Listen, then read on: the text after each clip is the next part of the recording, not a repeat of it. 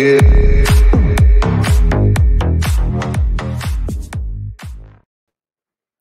everybody. Welcome back to your Realtor Sensei show. Broadcasting today from one of the few remaining grand hotels in the One Mon- Mon- White Mountains, New Hampshire, built in 1979, the Eagle Mountain House and Golf Club.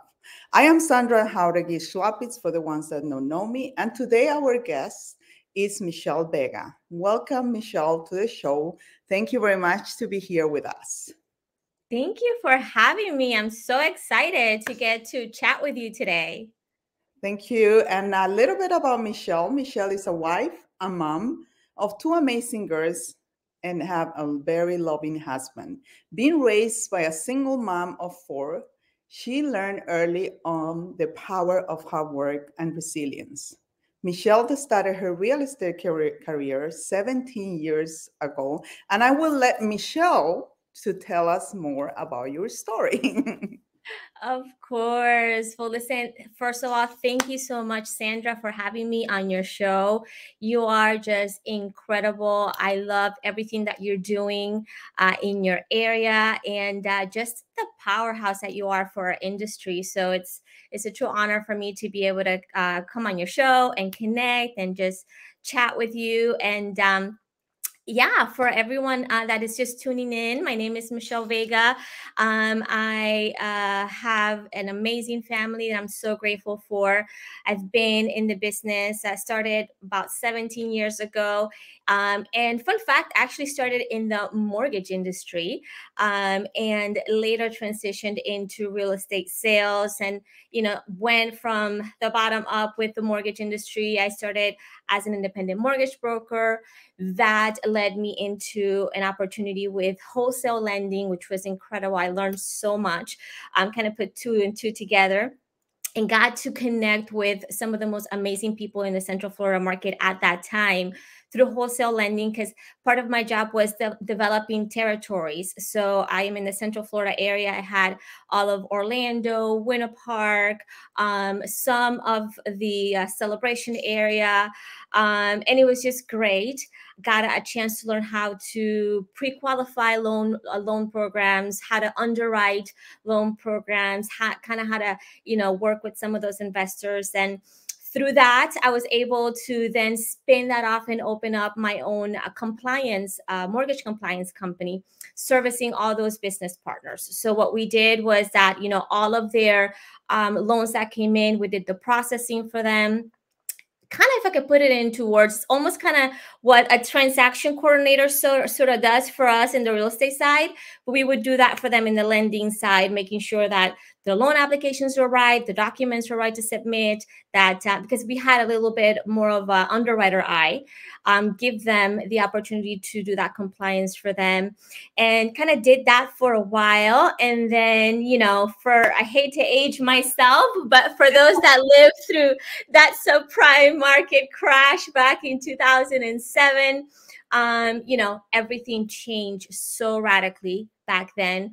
Um, and, you know, I, I basically was out of business really quick. It was a very uh, challenging time for everyone that was in the real estate industry back then. I mean, I remember, you know, towards the when everything started hitting, um, we would have closings and the lenders will call and say our our lines are frozen we we can't fund these loans and and you know things weren't going through and um, ultimately we ended up losing it all um, we we had our own we had two offices um, all of our partnerships. Nobody was doing business back then. And um, so that, you know, put us in a place where we had to shift, we had to transition.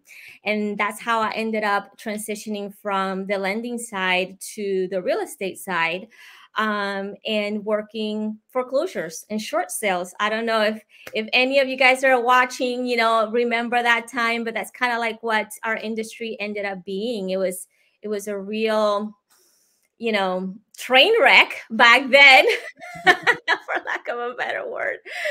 So I transitioned into working short sales and foreclosures and um, had the opportunity to work with some incredible partners that helped, you know, um, me work through negotiating those things and, and working with the lenders that were foreclosing and um, you know that kind of gave birth to the real estate side for me. And you know of course the market got stronger things got tightened up.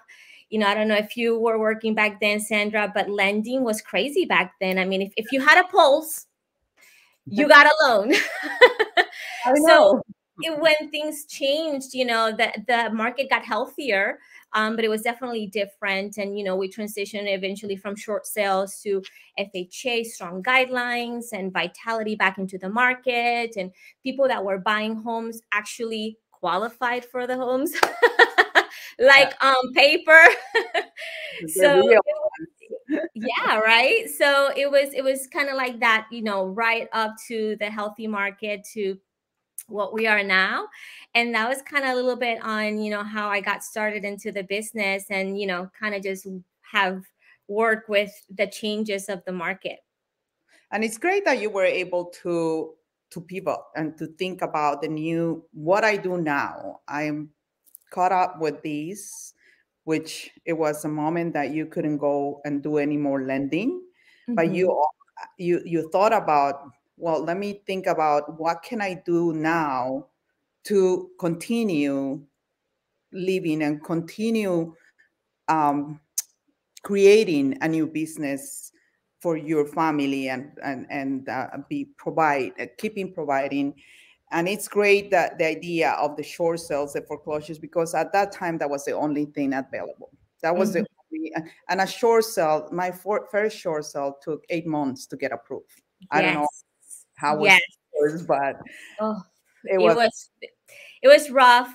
Um, but yeah, you know, I have, uh, you know, I'm so grateful for all of the uh, professional mentors that I've had along the way. And I remember at a friend of mine, you know, and and she, you know, early on will always say, you know, the the best success stories in business come out of a time of crisis like you know the best companies are are birthed out of crisis you know out of a meeting that need you know you kind of they just rise to that occasion. And you know when you begin to reframe you know uh times of crisis and times of challenge then that's kind of like when that leader arises right? And then of course you know there's training and there's resources and you kind of have to just position yourself to learn something new but, you know, I'll tell you what, you know, Sandra and everyone that's listening, we are in the best industry, in my opinion. Yes, it, it has come with a lot of uh, changes, like any industry, because let's be real, you know, every industry suffers their growth pains and their changes and challenges. But um, everybody needs a place to live. Yes. At the end of the day, everyone needs a place to live. So, us as professionals, we have the opportunity in this industry to be a part of that.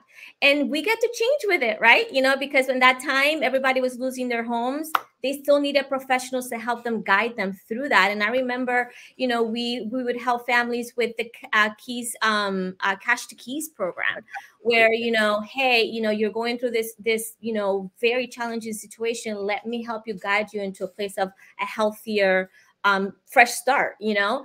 And so we have that opportunity. And I think it's such a blessing um, that, you know, we get to help people in one of the most important transitions and transactions of their life, which is their home, right? So, yeah it, it's it, it was it was challenging but still very rewarding and it and it was a learning curve right? I had to learn how to before i would get paid really quick because you know what? It was you know easy money with the way that you know lending was. Now we had to wait for these things to turn around. We had to submit all this paperwork and but we made it work and we wrote it out and you know what a blessing that we get to have a healthy market now oh, um, oh, yeah. that we get to work in you, you, you made it the, the most difficult time, which it was the learning process to the for sales, foreclosures, and everything that you had done. Oh, so I cut my teeth on the on the on the hard stuff.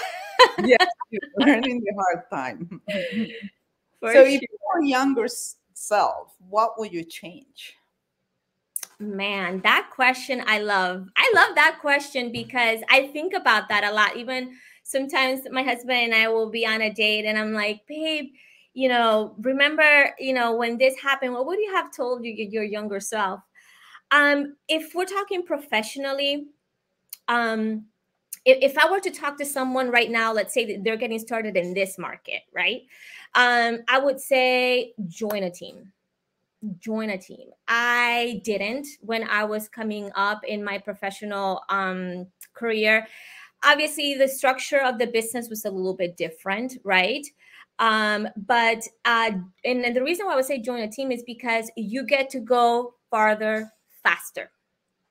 You get to take advantage if you're with a good team leader that aligns to you know you and to your goals and to your way of thinking and and your values um, you get to go farther faster because you get to take advantage of someone that has gone before you, that has put systems in place. You don't have to figure that out. Um, that has uh, financially is backing that team with the resources that it needs, so you don't have to figure that out on your own as well. Um, position yourself in a place to win, right? And and you can go far on your own, but you can go so much farther with the right people alongside you and, and locking arms with you. So I would say that overall, arching as as a person developing, you know, my younger Michelle, my baby Michelle, um, I would say do it anyway. Do it anyway. Do not overthink things. You know, there has been things that were in my heart to do at certain points in my life, and I didn't do them right away I waited. Um, I overthought it. And, you know, when I look back, sometimes just getting started, even if it's not fully polished and it's, it's you know, not how you want it to be, um, creates momentum. Things begin to align just because you took that step and you did it, right? So I would say, you know, start faster, do it anyway. Don't overthink things so much. Um, that's what I would tell my younger self for sure. that's powerful. I think I will say the same to to myself. So sometimes we get afraid. Sometimes uh, the fear is really a big one. After you had gone through, I would say, failure in the back in the market when you lost everything and you're afraid again to to become the person yeah. you were at that, before that so yes, I, I agree with you and I would that. Say even this, you know, um, it's so funny because, you know, Sandra, for us, when I say we lost everything, we lost everything. We lost our house, we lost our business, we had to go bankrupt. I mean, all of our income and our economy was wrapped. Both my husband and I were both in the industry. So he wasn't in another industry. I mean, this was our economy. And um, you know, I look back and there was just so many emotions around that transition, right? Because you know, here we are trying to navigate. It, it was similar and kind of close to like what we just went through with COVID, which which was like an unknown, you know, unprecedented time, you know, but we still have to show up, right? Yeah. And you know, looking back at that, um, even though it was so hard, it created substance. You know, I would say to anybody that's watching, don't be afraid of challenge, right? In the moment is hard. In the moment when you skin your knees, you you know, you break your teeth, you fall down. I mean, nobody likes that, but when you walk that process out, it creates a substance in you that allows you to be able number one help someone else that might have gone through that right because you have something right. to speak into but it creates in you um, the strength to know that if I got through that, I can get through whatever might come my way, right? Like it's almost like that meme uh, from uh, uh, that movie um, Hangover, where he, he's saying, "But did you die?" it's kind of like that right? Like you know um it was hard. You go through these hard times but they they make who you are and who you're meant to be. So don't be afraid of that challenge. Kind of just go through it you know? Go through that storm and at the end of that storm you're going to see man you were better for it right? Like you got some some resilience muscles now right? Like you know my husband was sharing this story the other day with you know a group of leaders that we were coaching and he was talking about um, how the buffalo and the cow when a storm is coming they both can sense it right? The cow turns to turn around against the wind of the storm right and try to run away from the storm and most of the time they get hurt.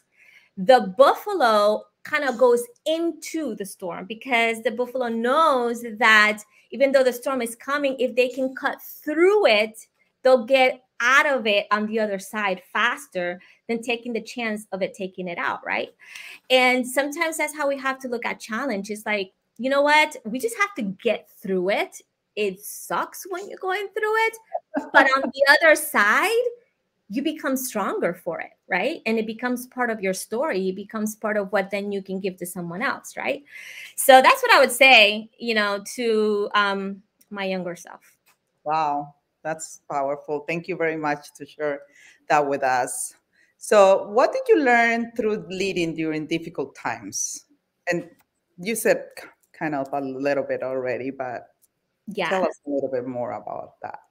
Um, I 100% believe that difficult times will cause your leader to rise up, right? The leader inside you rises up. Why? Because when the way that we look at things determines the way that we do things, right? Yes. So lead uh, leading through a time of crisis or through a difficult time really is going to cause you to number one test the way you see things your perspective right i feel like resilient people and people that you know um i don't know are are are strong in what they do or have overcome much let's just put it that way at one point or another, they had to challenge their perspective. They had to challenge the way that they saw things because if they didn't, the storm takes them out.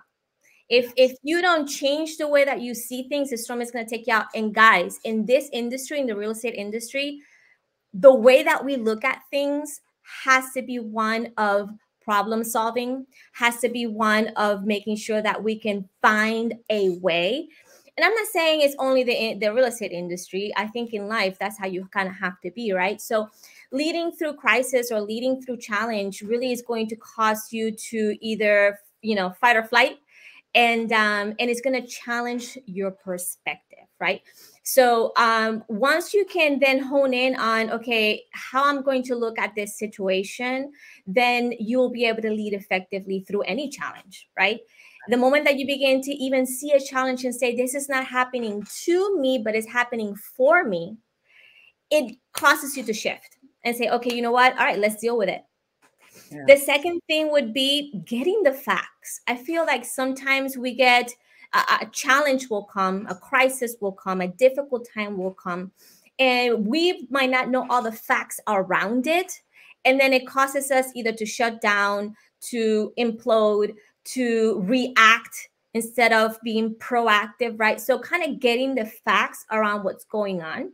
Sometimes that might even include embracing the worst case scenario. Why? Because if you embrace the worst case scenario, meaning you begin to consider it, then it allows you to look past it. It allows you to say, okay, if what I fear the most ends up happening, like in my case, if I end up losing it all, what am I going to do? Versus letting the fear of, oh my gosh, I can't control this outcome and what's going to happen now. Okay, what if it happens? Then what am I going to do? And then you begin to to respond a little bit different, right? Um, yeah. And then when you're in a leadership position, remember when you're a leader, it's not about you anymore it's yes. about the other people and everything you do it doesn't just impact you it begins to impact others and guys uh, this is just you know um a, a, a fact of life. You don't have to be a team leader or a broker owner to be a leader. You are a leader no matter what. You're leading yourself. You might be leading your children. You might be leading a family. You might be leading your, your siblings. Um, for a long time i was the older of my siblings um, and you know what you do is going to have an impact in everyone around you right? So um, when you are faced with difficult times in leadership it's all about perspective. Manage that and your outcome will be completely different because as we see things is how we do things, right? You know, even if you were to take this into the spiritual side, you know, there's a scripture in the Bible that says, you know, as a man thinketh, so is he, right? You know, and and so we're seeing it, we're thinking it, we're becoming it. So we have to manage our perspective perspective above all things because that's how we're going to respond to what you know happens in a time of crisis or or challenge when you're leading.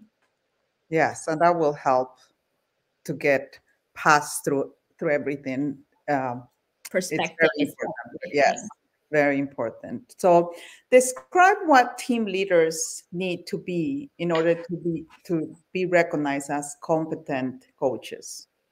You said you need to be a team like a team leader you don't need to be a, a coach. So describe a little bit about that. I love that question. I think that number one you need to be able to lead yourself well that's the beginning of everything, right? You know, I, I love the analogy of when a plane is crashing and you know you might be sitting with your child or with your elderly parent or someone that might need help if you don't put that mask of oxygen in your face first you're not going to be able to help the person next to you right yeah. so leading yourself well it's it's paramount it's, it's the first step right um, and and what does that mean? What does it mean to lead yourself well? Well, you know, if you've taken the time to establish what your life principles are, and being able to guide your life around them, right? Um, and let me tell you something: leading yourself well doesn't mean that you always have everything put together. It's knowing how to show up when things are falling apart. That's also leading yourself well, right? So, leading yourself well is making sure that you show up to do what you said you were going to do not just for others but for yourself right so if if you said that for example um uh, uh I don't know, mental health is important to you, right? A healthy body is important to you. Um, whatever those those guiding principles are important to you, then making sure you you show up for yourself to support that, right? If getting enough sleep, hello, where are all my workaholics at? I got the two hands up, right? You know, hey, listen, you know, we're so guilty of wanting to, you know, be top performers and high performers. And I'm all about that. Trust me, I'm the same way.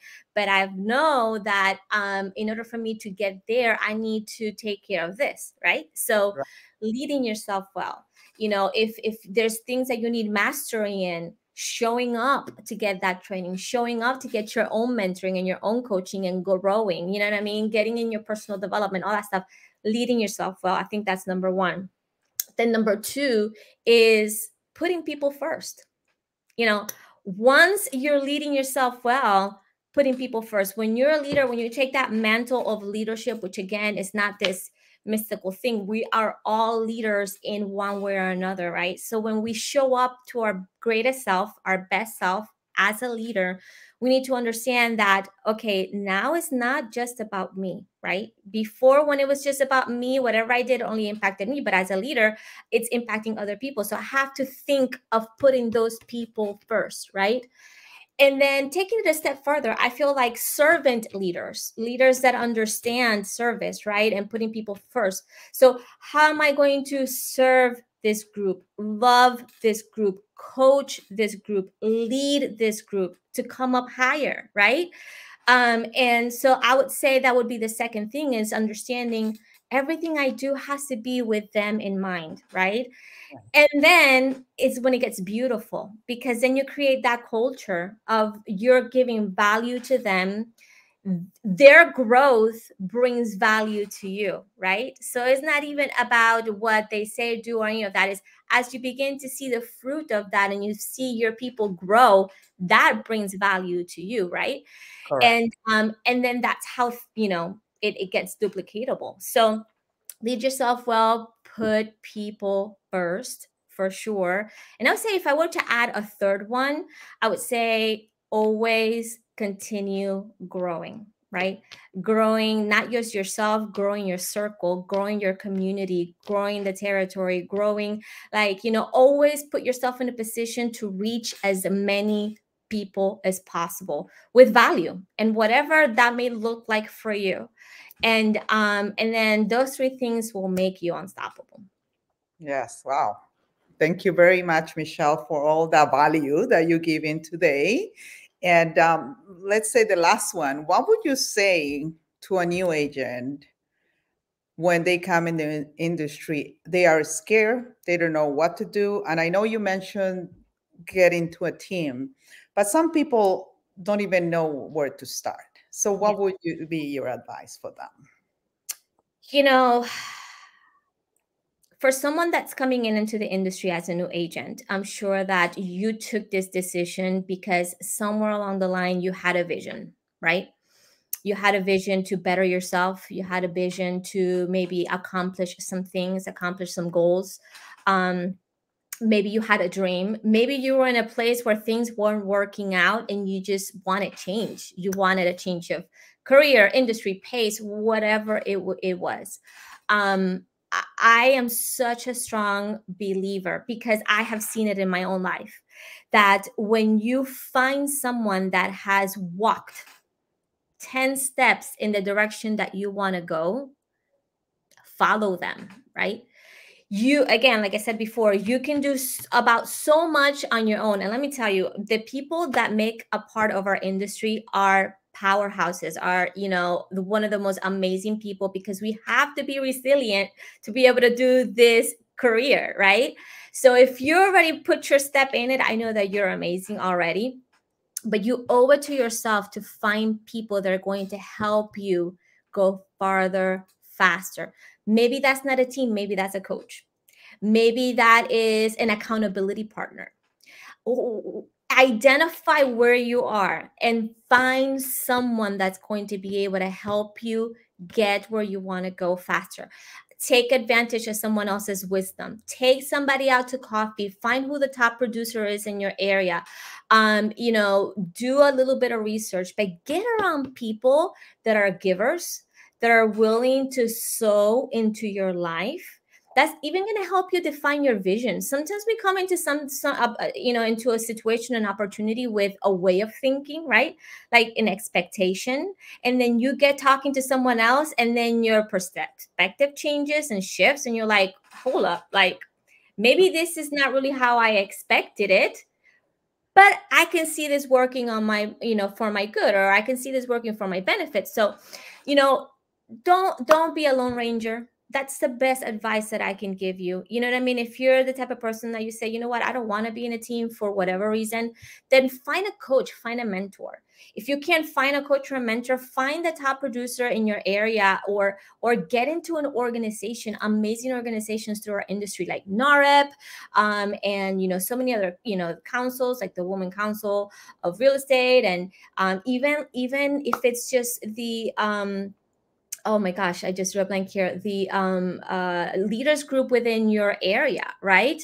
Um, find a community of people that have found success in the way you want to go. Because if you can start with the end in mind, and someone is opening up the playbook and say, hey, listen, I was where you were once and I did this and this and this and it worked. But this is the, the kicker I also did this and this and this, and it didn't. That is going to accelerate you like leaps and bounds versus you trying to white knuckle it yourself. And take it from someone that in the beginning, I said to myself, I don't need no one. I got this. Guys, I, and I had success. But it wasn't until I partnered up with the right people that I was able to accelerate my success. So don't go at it alone. Find community. Wow, great. Those are great tips. Michelle, thank you very much for the value that you bring today to the show. Remember, everyone, this show is live every Friday, 1 p.m. You have to come, don't miss it. We bring valuable tips for you um, thank you, Michelle, and um, enjoy your weekend. Thank, thank you very much. It was great to have you today. Thank you so much, Sandra. I love being here. I wish you nothing for but success. You're doing amazing. Thank you very much.